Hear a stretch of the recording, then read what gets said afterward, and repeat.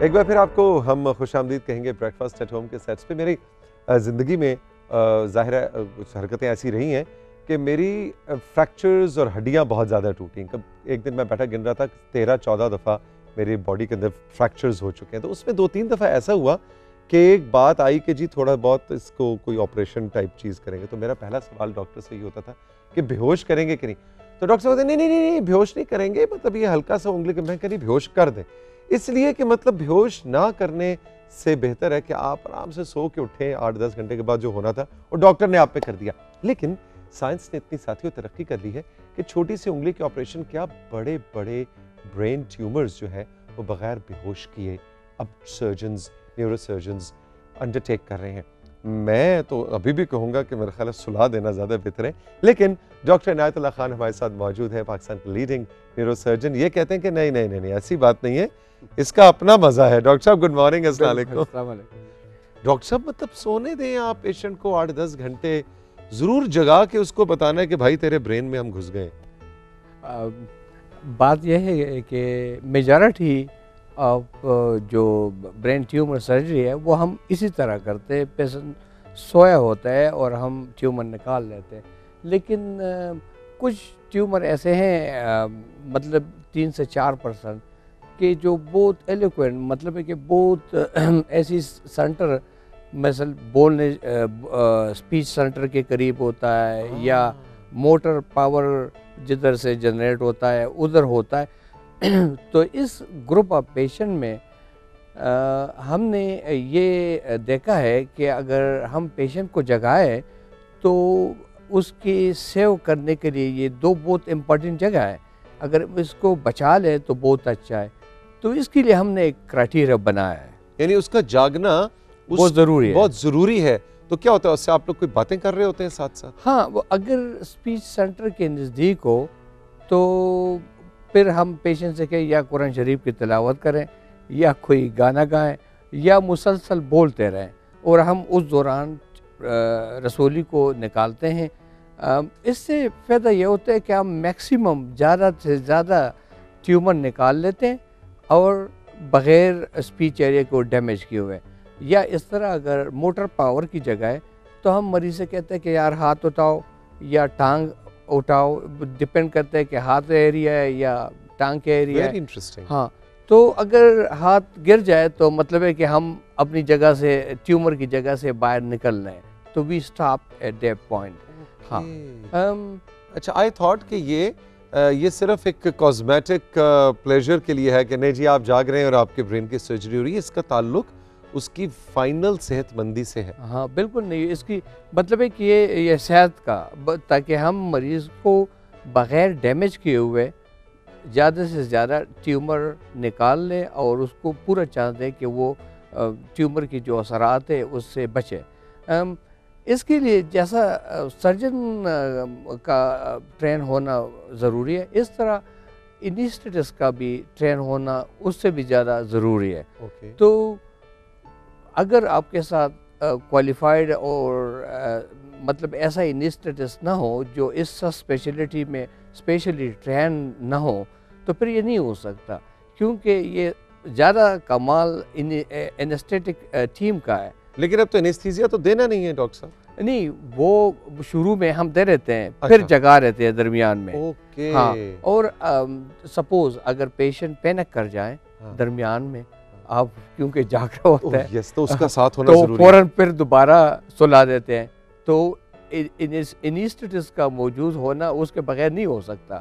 ہاں وہ جگا لیتا ہے۔ پھر آخر میں جب ہم یہ صرف دیکھیں جو امپارٹنٹ ایریا ہے اس کو بچانے کے لیے ہے۔ بعد میں جب ہم ٹیومر نکال لیتے ہیں مریض کو پھر سونے دیتے ہیں۔ مریض کو پھر سلا دیتے ہیں۔ تو پھر ہم کوپڑی کو یا جو زخم ہو وہ بند کر لیتے ہیں۔ لیکن ٹیومر نکالنے کے دوران ہم اس کو وہ جاگتا رہتا ہے اور ہم اس کے ساتھ باتیں کرتے ہیں۔ اور یہ اب ظاہر پاکستان میں ہو رہا ہے پوری دنیا میں یہ نئی انٹرونشن ہاں ہاں۔ کافی عرصے سے لیکن چونکہ ہمارے ساتھ انیسٹیٹس نہیں تھا تو اس لیے ہم نہیں کر رہے تھے۔ تو اب شکر ہے ہمارے پاس یہ انیسٹیٹس اویلیبل ہے۔ تو ہم ہم نے کرنا شروع کیا۔ اچھا ڈاکٹر صاحب، آپ کیونکہ آپ کا تعلق برین اور ساری سرجری اور اس سارے سے ہے، ایک جو بہت کامن مسئلہ ہمیں نظر آتا ہے، خاص طور پہ ابھی پروگرام کے آغاز میں میں بات کر رہا تھا کہ دو ہزار پانچ کے زلزلے کے بعد ہم نے دیکھا کہ کے پی اور کشمیر میں بہت سے ینگسٹرز جو ہیں پوری زندگی کے لیے پیرل ہے ابھی تک کوئی نیورو سرجری میں ایسی ٹیکنیک نہیں آئی کہ جو لوور باڈی یا بیک اسپائنل کارڈ کے ڈیمیج ہو جانے سے جو معذوری آ جاتی ہے، اس کا کوئی علاج نہیں۔ اگر جس وقت پیشنٹ ہم، ہمارے پاس پہنچ جاتا ہے اور اس کے ٹانگوں میں کوئی حرکت نہ ہو، کوئی سنسیشن نہ ہو اس کا چھوٹے اور بڑے پیشاب کا کنٹرول نہ ہو، تو پھر تو بہت مشکل ہو جاتا ہے۔ لیکن مجھے یاد ہے، ہم نے کافی پیشنٹ کے اسپائن کو اسٹیبلائز کیا تھا۔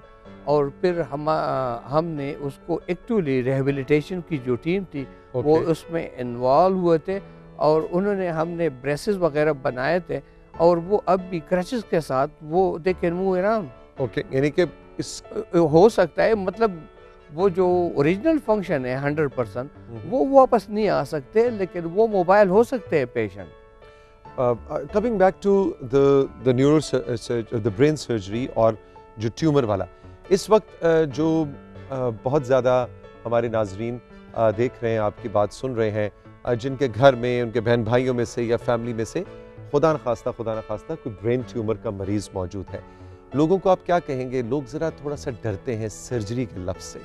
کیا اس وقت پاکستان میں جنرلی تو آپ کی اسپیشل اسپیشلائزڈ فیلڈ ہے، اس کے علاوہ جنرلی پاکستان میں آپ کے خیال میں برین کی ٹیومر کی سرجری فوراً کروا لینی چاہیے، یا ادھر ادھر، کبھی ہومیوپیتھک کبھی حکیم، کبھی ایلوپیتھک یہ علاج کو آخری چانس دینا چاہیے۔